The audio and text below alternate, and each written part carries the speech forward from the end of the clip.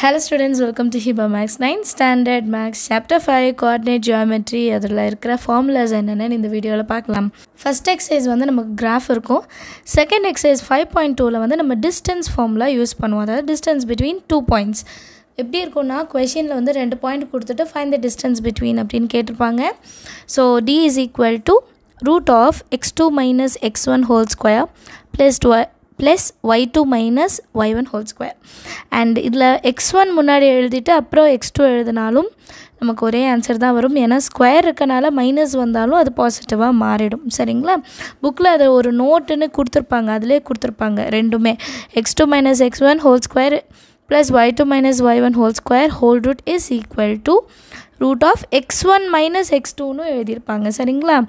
And அடுத்த type எப்படி இருக்குன்னா ஆரிஜின் கூட நம்ம டிஸ்டன்ஸ் கண்டுபிடிக்கணும்னா ஒரு பாயிண்ட் கொடுத்துட்டு இன்னொரு பாயிண்ட் வந்து ஆரிஜினாக இருக்குது அப்படின்னா ஆப்வியஸ்லி எக்ஸ் டூவோட வேல்யூ ஜீரோ ஆகிடும் கரெக்டாக அப்போ எக்ஸ் ஒனுக்கு மட்டும்தான் ஸ்கொயர் வரும் அண்ட் ப்ளஸ் எக்ஸ் டூக்கு ஒரு ஸ்கொயர் ஸோ டேரெக்டாக ஆரிஜின் கொடுத்துருந்தாங்கன்னா நம்ம X one square plus Y one ஸ்கொயர்னே எழுதிக்கலாம்.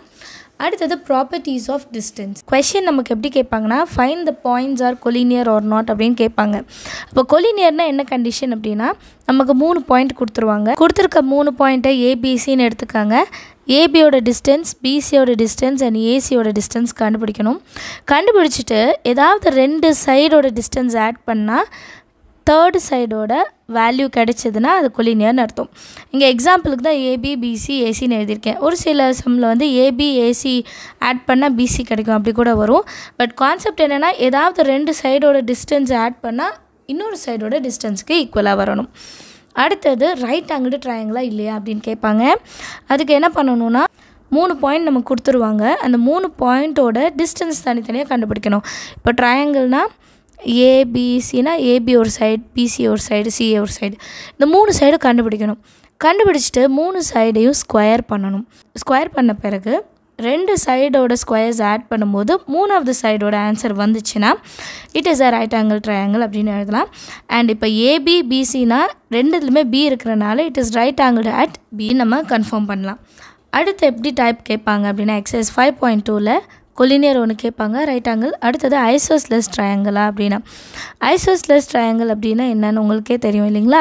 ஒரு ட்ரையாங்கிள் ஏதாவது ரெண்டு சைடு ஈக்குவலாக இருக்கணும். இருந்தால் அது ஐசோலெஸ் ட்ரையாங்கிள் இந்த சம்மை எப்படி நம்ம செய்வோம் அப்படின்னா ஒரு ட்ரையாங்கிள் ஏபிசி இருக்குன்னா ஏபி வேல்யூ கண்டுபிடிக்கணும் பிசி வேல்யூ கண்டுபிடிக்கணும் ஏசி வேல்யூ கண்டுபிடிக்கணும்.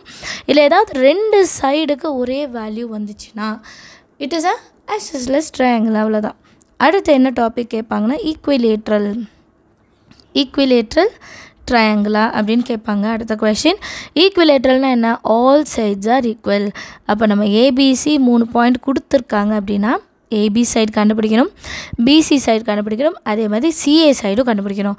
மூணு சைடுமே ஈக்குவலாக இருந்தால் இட் இஸ் ஈக்குவலேட்டர் ட்ரையாங்கிள் அப்படின்னு சொல்லலாம். நெக்ஸ்ட்டு வந்து ஃபிஃப்த்து கொஷின் எப்படி இருக்கும் அப்படின்னு பார்த்தோன்னா பேரலோகிராமான்னு கேட்பாங்க. நாலு பாயிண்ட் கொடுத்துட்டு whether the given points are parallelogram or not அப்படின்னு கேட்பாங்க.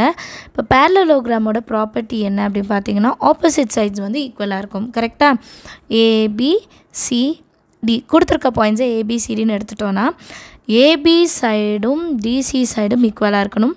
அதே மாதிரி பிசி சைடும் ஏடி சைடும் ஈக்குவலாக இருக்கணும். இது ரெண்டுமே சாட்டிஸ்ஃபை ஆச்சுன்னா கிவன் பாயிண்ட்ஸாக பேரலோகிராம் அப்படின்னு நம்ம எடுத்துக்கலாம். சிக்ஸ்த்து கொஷின் வந்து ரோம்பஸ் ரோம்பஸோட கண்டிஷன் என்ன? All sides are equal so நாலு பாயிண்ட் கொடுத்துருக்காங்கன்னா நம்ம AB BC CD and DA கண்டுபிடிக்கணும். அண்ட் நாலு சைடுமே எப்படி இருக்கணும்? கண்டிப்பாக ஈக்குவலாக இருக்கணும். இருந்தால் அது ரோம்பஸ் அப்படின்னு நம்ம கன்ஃபார்ம் பண்ணலாம். நெக்ஸ்ட்டு இந்த டைப் எல்லாம் இல்லாமல் எப்படி கொடுப்பாங்கன்னா ரெண்டு சைடு ஈக்குவல் அவங்களே கொடுத்துட்டு ஒரு அன்னோன் வேல்யூ கண்டுபிடிக்க சொல்லுவாங்க. ஃபார் எக்ஸாம்பிள் நம்ம செவன்த் கொஷின் அப்படி தான் இருக்கும். செவன்த் கொஷின் பார்த்திங்கன்னா ஏபிசி கொடுத்துட்டாங்க. Are the points if AB is equal to BC அப்போ என்ன அர்த்தம்? ஏபியோட டிஸ்டன்ஸு பிசியோட டிஸ்டன்ஸு ஈக்குவலாக இருக்குது அப்படின்னு அர்த்தம். அண்ட் இந்த கண்டிஷன் வச்சு நான் ஏ என்ன அப்படின்ட்டு கண்டுபிடிக்கணும். சரிங்களா? அண்ட் அடுத்து இருக்கிறது எல்லாமே டிஸ்டன்ஸ் ஃபார்மில் நம்ம யூஸ் பண்ணிவிட்டு சால்வ் பண்ணுற மாதிரி தான் இருக்கும். எல்லாமே முக்கியமான கொஷின் பார்த்துக்காங்க. நெக்ஸ்ட் டாபிக் என்னென்னா மிட் பாயிண்ட் ஃபார்மில் மிட் பாயிண்ட் ஃபார்மில் ரெண்டு point கொடுத்துட்டாங்கன்னா X one plus X two by two comma Y one plus Y two by two இதுதான் மிட் பாயிண்ட் ஃபார்மில் கொஷின் எப்படி வரும்னா find the mid point of the following அப்படின்னு கேட்கலாம்.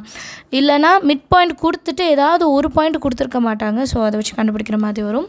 அடுத்தது செக்ஷன் ஃபார்மில் ரெண்டு பாயிண்ட் கொடுத்துருவாங்க அண்ட் ஒரு ரேஷியோ கொடுத்துருப்பாங்க. எம்எஸ் டூ என் அப்படின்னு கொடுத்துருப்பாங்க. So P X Y is equal to M X two plus N X one divided by m plus n comma my2 plus ny1 divided by m plus n. So இதுதான் section ஃபார்மில் இதுலேயும் ratio கொடுத்துட்டு ஒரு point கொடுத்துட்டு இன்னொரு point கேட்பாங்க. And பியோட வேல்யூவும் கொடுத்துருவாங்க. அப்படி இல்லைன்னா பாயிண்ட் ரெண்டு பாயிண்ட் கொடுத்துட்டு ரேஷியோ கொடுத்துட்டு செக்ஷன் ஃபார்மில் வைஸ் பாயிண்ட் பி என்னன்னு கண்டுபிடிக்க சொல்லுவாங்க. சரிங்களா? அடுத்த டாபிக் வந்து சென்ட்ராய்டு இதுதான் லாஸ்ட் டாபிக் சென்ட்ராய்டு அப்படின்னா இப்போ நம்ம மிட் பாயிண்ட்டுக்கு வந்து X one X two add பண்ணுறோம் இல்லையா? சென்ட்ராய்டுக்கு வந்து மூணு பாயிண்ட் வரும். X one plus X two plus X three by three Y one plus Y two plus three by three so மூணு பாயிண்ட் நம்ம கொடுத்துருப்பாங்க. இதை வச்சு சென்ட்ராய்டு கண்டுபிடிக்கணும். இதுலேயும் கொஷின்ஸ் எப்படி வரும்னா சென்ட்ராய்டு ஜியோட வேல்யூ கொடுத்துட்டு ஏதாவது ஒரு பாயிண்ட் கேட்பாங்க. அப்படி இல்லைனா மூணு பாயிண்ட் கொடுத்துட்டு ஜியோட வேல்யூ என்ன அப்படின்னு சொல்லிட்டு கேட்பாங்க. சரிங்களா? ஃபிஃப்த் லெசன் ரொம்பவே ஈஸியான ஒரு லெசன் பட் நிறைய வாட்டி நீங்கள் ப்ராக்டிஸ் பண்ணணும். ஏன்னா நம்ம எல்லா சம்ஸுமே கரெக்டாக பண்ணிவிடுவோம் பட் ஏதாவது ஒரு இடத்துல மைனஸ் ப்ளஸ் வந்து மாற்றி போடுறதுனால அந்த ஃபுல் சம்மே தப்பாகும். அண்ட் அதே மாதிரி யூனிட்ஸ் கொடுத்துருந்தாங்கன்னா கண்டிப்பாக யூனிட்ஸ் எழுதுங்க. அதுவுமே அதில் ஒரு முக்கியமான ஒரு விஷயம். அண்ட் கிவன் கண்டிப்பாக எழுதுங்க. சொல்யூஷனில் வந்து என்ன வெரிஃபை பண்ண சொல்லியிருக்காங்களோ அதை எழுதுங்க. இப்போ இது வந்து ஒரு கொலீனியரா அப்படின்னு கேட்டால் அம்மா இது வந்து இட் இஸ் அ கொலீனியர் அப்படின்னு எழுதணும். அதே மாதிரி இட் ஃபார்ம்ஸ் அ ரோம்பஸ் அப்படின்னா எஸ் இட் ஃபார்ம்ஸ் ரொம்ப சென்ஸ் ஹென்ஸ் ப்ரூட் அந்த மாதிரி ஏதாவது நம்ம வந்து சொல்யூஷன் கண்டிப்பாக எழுதணும். ஏன்னா இந்த குவார்டர்லி முடிஞ்சு கரெக்ஷன் பண்ண பேப்பர்ஸ் பார்க்கும்போது கிவன் சொல்யூஷன் எழுதாதனாலே ஒரு மார்க்லாம் பசங்க மிஸ் பண்ணியிருந்தாங்க ஸோ அந்த மாதிரி தப்பெலாம் நம்ம செய்ய வேண்டாம். அண்ட் வேறு ஏதாவது டவுட் இருந்தால் என்னோடய கமெண்ட் செஷனில் கேளுங்கள் நெக்ஸ்ட்டு என்ன வீடியோ அப்லோட் பண்ணணும்னு சொல்லுங்கள் சரிங்களா? தேங்க்யூ ஸோ மச் ஃபார் வாட்சிங்